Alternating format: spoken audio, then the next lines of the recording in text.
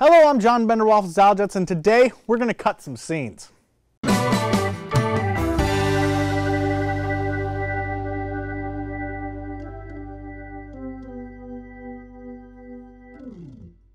RPGs have always been a genre of games that is largely focused on telling stories.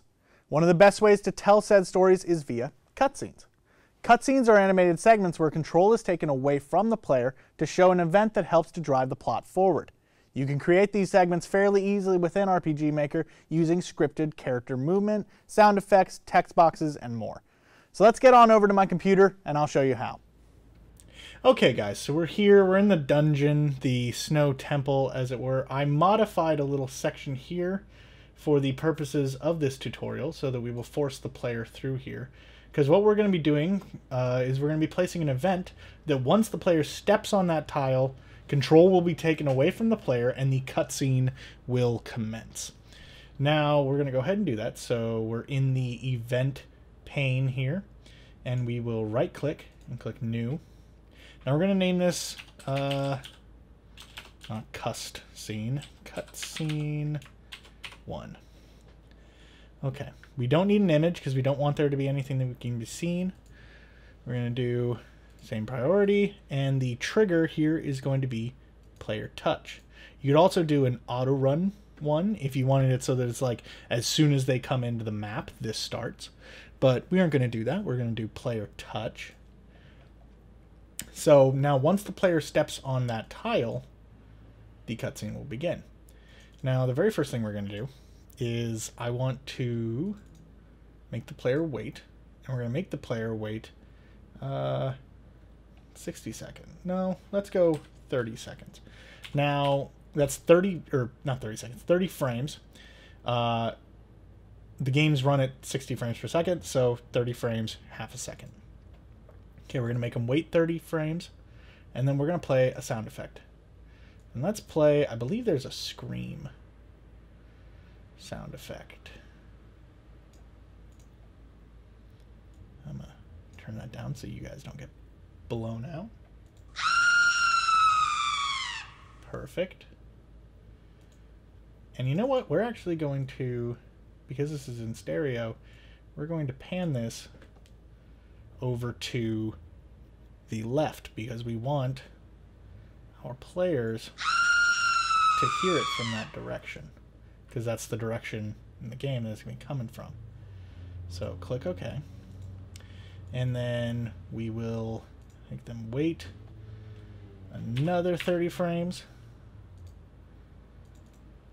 And we are going to do something called show a balloon icon. But first we're actually going to play a sound effect because if we play the sound effect first, it will show up at the same time as the icon. I like, for mine, I like a bit of a decision one or decision two. So we're going to play the sound effect decision two, and then we're going to show balloon icon. And what this basically is, is it's a little symbol that appears above their head in like a text balloon like you would see in a comic. Um, and we're going to do an exclamation point, and we're going to click this wait for completion. Now that causes, that mean that basically just means that the event will not continue to go forward until the exclamation animation is played out. And we're going to put it over the player. We could also put it over this event, or we could put it over other uh, other events if we really, really wanted to. And then just click OK there. And now we're going to wait another... We're going to go... My numlock isn't on. We're going to go 10 frames for that one. Really quick wait. And then we're going to do something called where is it? Oh, um, set movement route. Now, basically, what this does is it allows us to move either the player or other events to get them to it. We take control away from them and make them move. Uh, now, you can make the player do this. You can make other events do this. This is just the way that we're going to do it. And we're going to have them basically come down here to about here, and then turn and look over there, and they're going to get a question mark over their head. So we got to count how many moves down it's going to take. So from there to there is one, two, three, four, five, six, and seven. So we have to do move down seven times. So one, two, three, four, five, six, seven. So they're going to move down seven times, and we're going to have them turn left. And there we go. Now we have wait for completion. Basically, so nothing else in the event is going to go forward until we waited for completion.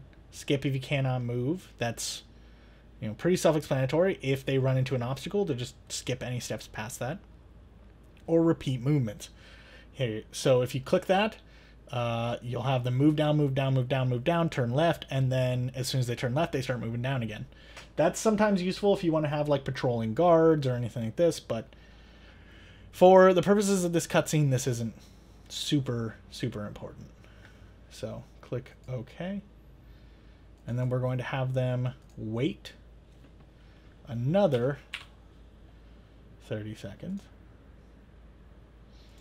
And then we're going to play a sound effect for that decision. And we're going to have a balloon icon appear above their head, but it's going to be a question. And we're going to have a wait for completion. And then there will be text. In this text, we're going to show our player graphic. And he is going to say, what the, let's do dot, dot, dot, then question mark. And click OK. And then click Apply. Now, as it stands, that event works perfectly. But you'll notice that we didn't set a self switch. So if the player who will be here at this point then just turns around and goes back, it'll send him back down and repeat the event. So we're going to end it by putting control self switch, A, turn it on, then do new event page, self switch, A is on, click apply, don't put anything in here, just click OK.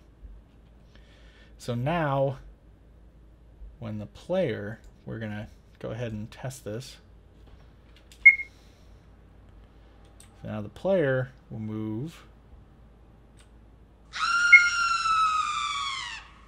I'm not controlling anything at this point. This is completely the game. What the? And that's that. That's a very, very basic cutscene. Now, what if we wanted other events to be moving around? Well, one thing we can do is create a mo create an event just outside of the player's view. So let's call this one enemy. And then we're going to give them a graphic. We're going to make it this dude. Actually, let's go with this person. And we aren't going to put anything on there, anything on there. What we are going to do is we're going to go in here and we're going to delete this self switch. We're going to do this, go wait, have them wait 30 frames. Okay, and then we are going to have this character go to the right one, two, three, four, five, six. So we're going to set movement route for the enemy event. Have them move right. I believe it was six times. One, two, three, four, five, six. Click OK. Uh, and then he'll be there. Wait, one, two, three, four, five, six. Okay, and then one, two, three, and then turn right. Oops, that was not what I wanted to do. Go ahead. I some, I'm not entirely sure if you need to do this. This is just a habit I've always done, is have them turn and look in the direction they're going to be moving. I'm not sure if that's something that you absolutely need, but I always do that. So I believe it's one, two, three, all right. One, two, three. Okay. And then they will turn right. Going to new, wait 10 seconds, have a text box appear that will be the monster, and he'll be like. Do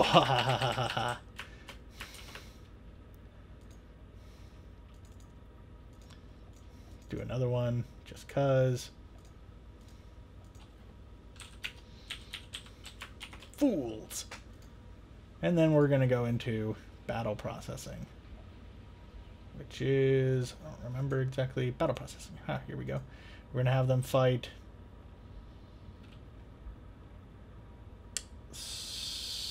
something. Let's have them fight some slimes. Because they can. So battle processing slime. And then once that happens, then we're actually what we're actually going to do to get rid of the enemy uh the enemy event when this event is over is we're going to go control mm, actually be control switch it's control switch. And so we're going to create a switch. It's going to be enemy one. Click apply. Click ok. So when enemy one is on we'll go over here. We're going to turn this off. Because it's no longer self switch. It's now enemy one. Okay go into the enemy sprite. New page. Switch enemy one click ok click apply so now let's just go ahead and try this out we're gonna go blah blah blah blah blah here's screen exclamation point Walk, walk, walk, walk, walk.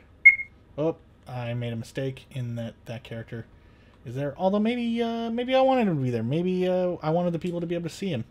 So he's gonna kind of lumber over. You could change the music here, have like something ominous, be like, oh, there's a bad guy coming. Fools. And then battle processing. I'm sorry if that's loud. Uh, so fight. So just, yeah. Anyways, then the event would be gone. Everything would be golden. Let's actually get rid of this just to, just for the sake of testing the whole disappearing event thing. So, go, go, go, go, go, go, go. Yeah, scream, ah, run. Okay, there's a bad guy. Who is that? He lumbers over. He looks at you. He's like, "Mwahaha, fools!" And then the cutscene is over. So that's the very basics of cutscene creation, guys. You can play with it. You can get extravagant. You can get super complicated and have like movement routes and then someone talks and then there's more movement and all this sort of stuff and you can play around with more event uh, more event ideas, you could do stuff like gather followers, uh, which will cause all your all your followers to move into the same position as a party member. You can take away party members so that you can then have events spawn that are those uh, party members, so that you get party members interacting with each other and all sorts of different stuff. Yeah, it's it's exciting. Um, you can also have it play a movie if you'd rather show an animated cutscene like the ones that I had during my stand-up section with like the Wrath of the Lich King and the DC Universe. If you just want to show an actual pre-rendered video, you can do that there. You can shake the screen, you can flash the screen, you can fade in, fade out. You can do all sorts of stuff. Just kind of play around with. For the most part, stuff on this page is super useful for cutscenes. Um, couple things here, you know, if you want like enemies transform, blah blah blah blah blah. Although that's battle, don't do that. If you want to run scripts, do stuff like that. Just kind of play around with stuff and record a video of your cutscene and tweet it at me. Uh, put it on my post it to my Facebook uh, like page, whatever. Just send it to me. I want to see what you guys. I want to see what you guys can make. So yeah. And with that, I must now leave you. Never fear, however, for I shall be back soon. In the next episode, we'll take a look at item creation. You can click on this button here to go to that video. If it isn't up yet though, that button will instead take you to my channel where you can subscribe. If you want this series to continue, be sure to give this video a like so I know that it's something that you guys enjoy. If you really, really like it, you can even support me directly by becoming a patron on my Patreon page. I'm going to be making some big new changes to that soon, including new rewards and announcing exclusive content for my patrons. So click the link down below to check that out. Don't forget to subscribe, guys, and I will see you next time when I have to swap faces with a psychotic criminal to foil his evil plans.